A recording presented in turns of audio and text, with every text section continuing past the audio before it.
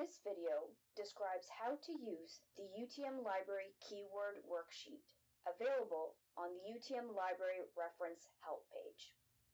Before using a database or the library catalog to find articles and other resources, you first need to identify keywords. Keywords are words or phrases that describe your research topic or question.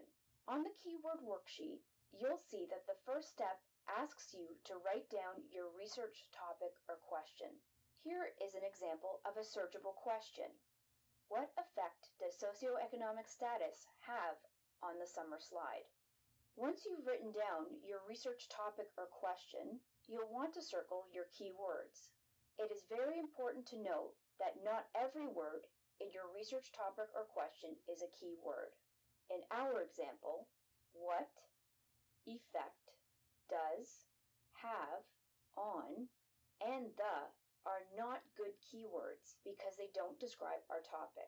Socioeconomic status and summer slide, however, are good keywords because they are the two main concepts that make up our question.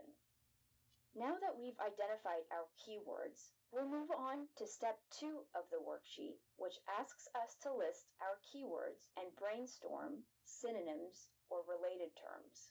It is important to add synonyms and related terms to your search because databases and the library catalog will not automatically include them in your search. The second step in the worksheet asks you to list your keywords on the left-hand side of the table.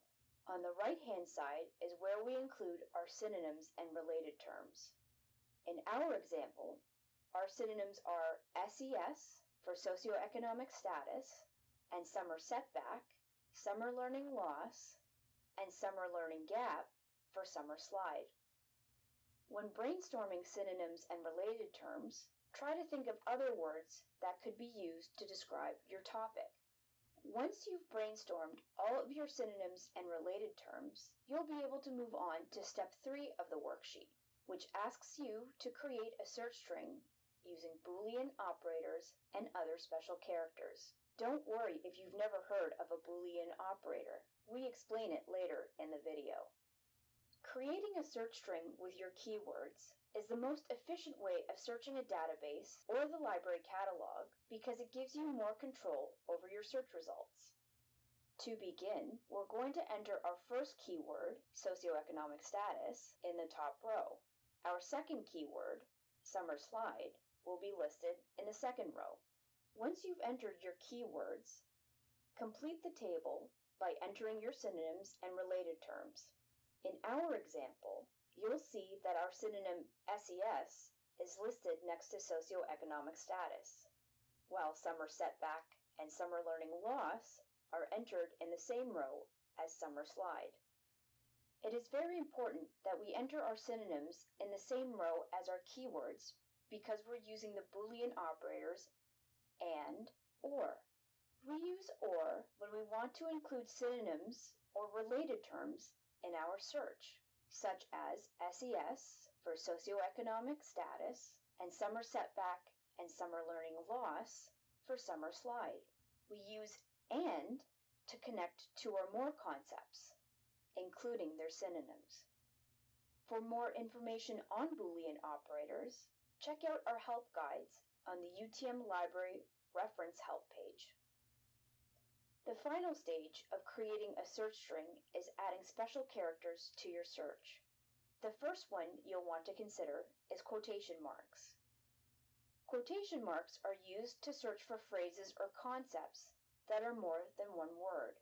For example, socioeconomic status, summer slide, summer setback, and summer learning loss. When we use quotation marks, we are telling the database that the words within the quotation marks must appear as an exact phrase in our search results. The second set of special characters that we want to consider using are those that help us truncate our search terms. Truncation is a search method that uses symbols in the place of letters to help you broaden your search. Although the symbols that we use to truncate can differ depending on the database, one of the most common symbols that databases use is the asterisk. When we truncate a word, we turn our search term into a root word by removing letters at the end of the term and replacing it with our truncation symbol. Let's use the word race as an example. To truncate race, we remove the e at the end of the word and replace it with the asterisk.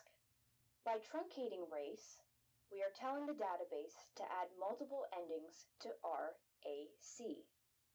This helps us retrieve search results with the words race, races, racial, etc. If you need any help, feel free to email us at askutml.utm at utoronto.ca, use the online chat from the UTM Library homepage, or reach out to us over Zoom and we can help.